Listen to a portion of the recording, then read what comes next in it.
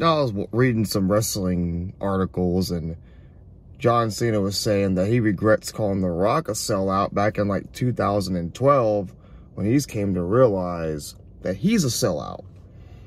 John Cena sold out. He went to Hollywood, made movies. He said he was going to end his life in the WWE as far as never leave the WWE. And here he is now in Hollywood making movies saying that he doesn't want to get hurt or get crippled. This is why he doesn't wrestle much anymore. But, I mean, do you guys miss John Cena? Did you guys appreciate John Cena? Did you care for John Cena? I don't think a lot of us really did.